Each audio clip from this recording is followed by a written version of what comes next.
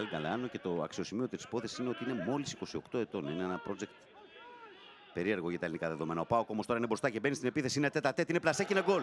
Είναι το 1-0 για τον Πάοκ σε ανύποπτο χρόνο στην πρώτη φάση. Ο Ουρτάδο στέλνει την μπάλα στα δίχτυα σε μια φάση που η άμυνα του πας πιάστηκε στον ύπνο και οι, και οι πυρώτες δέχονται ένα γκολ μόλις με τη συμπλήρωση του ενός λεπτού αγώνα. Μια φάση που θα δούμε και πάλι το πώς δημιουργήθηκε και πώς έφυγε στην πλάτη της άμυνας ε, του Πας Γιάννηνα ο Ουρτάδο, νικώντας τον τερματοφύλακα Θανασίου και στέλνοντας την μπάλα στη γωνιά της αιστείας του, γράφοντας το 1-0 ο Ουρτάδο, τον οποίο βλέπετε εδώ να πανηγυρίζει με τους υπόλοιπους συμπαίκτες του. Εδώ βλέπουμε τη φάση. Γίνεται εδώ το λάθος στη μεσαία γραμμή. Οι παίχτες του ΠΑΟΚ Β κερδίζουν απευθείας την κατοχή της μπάλας και το άνοιγμα που γίνεται είναι οριακή η φάση αυτή. Είναι οριακή. Το σουτ που θα γίνει από τον Ουρτάδο, η μπάλα θα πάει στην δεξιά γωνία του τερματοφύλακα Αθανασίου.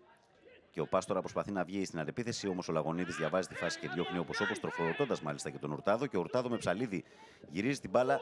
Ένα μαρκάρισμα που θα γίνει και δίνει πέναλτι ο ρέφερη στο μαρκάρισμα στο Ρωμαντσίεφ. Φάση την οποία θα ξαναδούμε από το γύρισμα.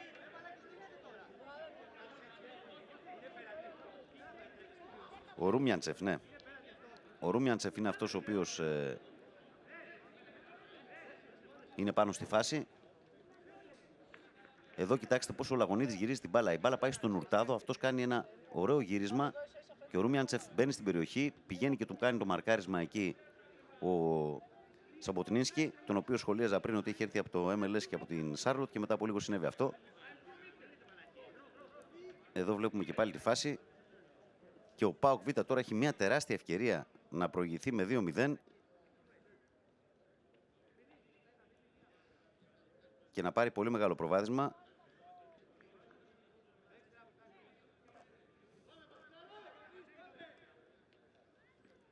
Πέναλτι λοιπόν για τον ε, ΠΑΟΚ, οποίο, το οποίο θα εκτελέσει ο Κανής.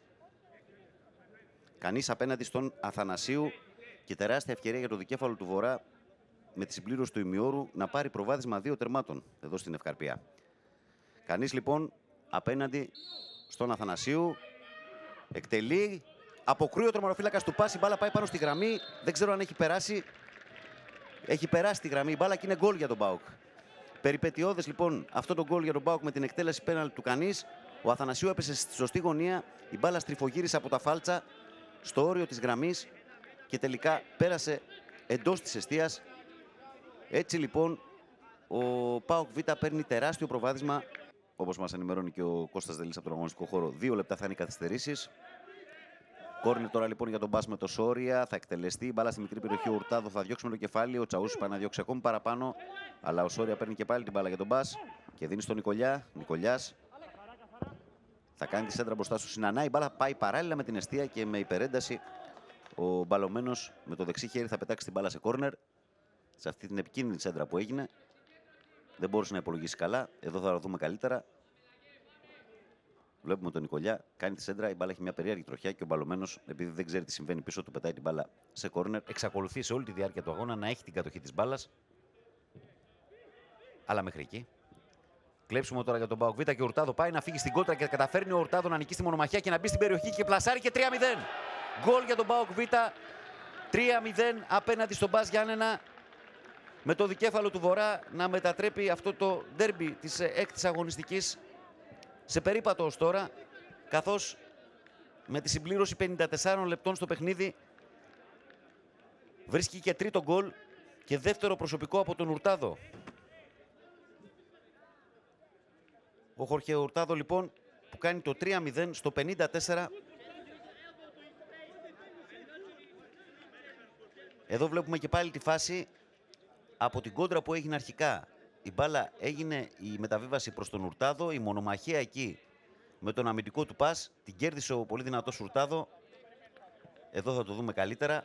Ο Σόρια χάνει την μπάλα ουσιαστικά από τον... Ε, εδώ ο Ουρτάδο τσιμπάει την μπάλα κάτω από τα πόδια του ε, Σομποτνίσκι ο, ο Ουρτάδο.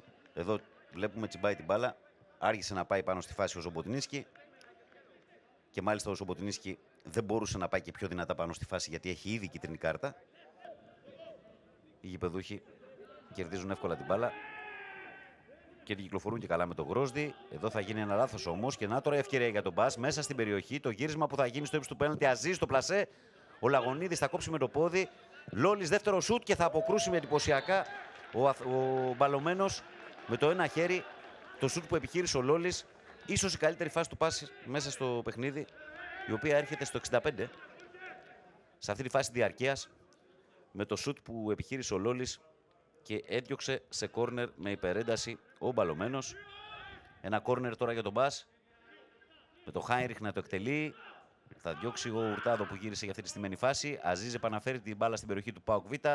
Κοτάς διώχνει με το κεφάλι. Ακόμη περισσότερο απομάκρυνε ο Ρουμιάντσεφ.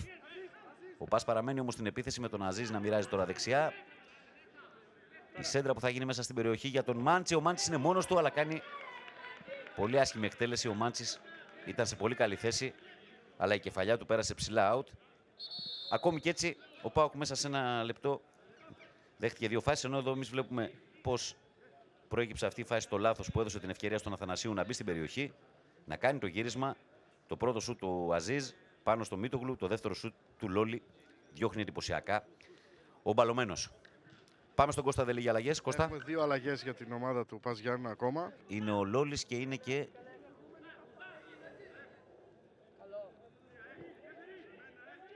ο Σέποβιτς. Αυτοί οι δύο πρέπει να είναι πάνω στην μπάλα. Θα εκτελεστεί από τον Χάιριχ τελικά. Η κεφαλιά είναι καλή και περνάει πάνω από το οριζόντιο δοκάρι. Και αυτή είναι αναμφισβήτητα η μεγαλύτερη ευκαιρία του Πας να βρει γκολ στο παιχνίδι από το φάουλ του Χάιριχ.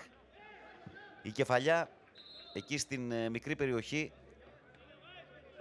από τον ε, Σαμποτνίνσκι. Εδώ το βλέπουμε και πάλι. Λίγο πάνω από το οριζόντιο δοκάρι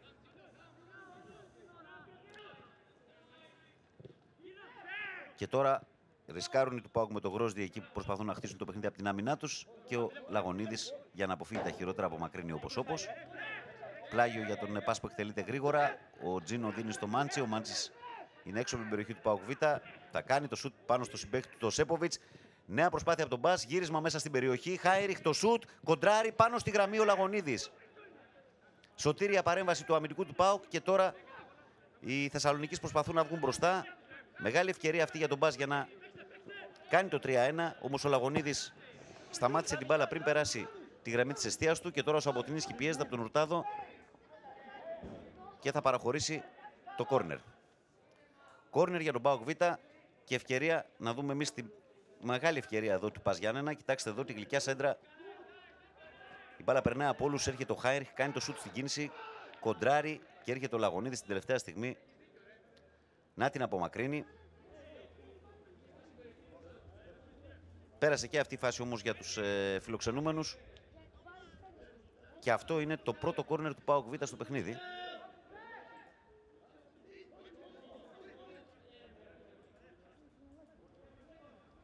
Το οποίο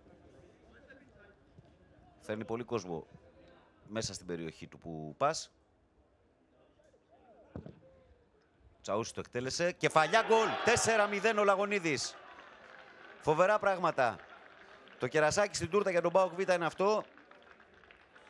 Αλλά και η επιβράβευση του Λαγονίδη που έχει κάνει μια εξαιρετική εμφάνιση ανασταλτικά.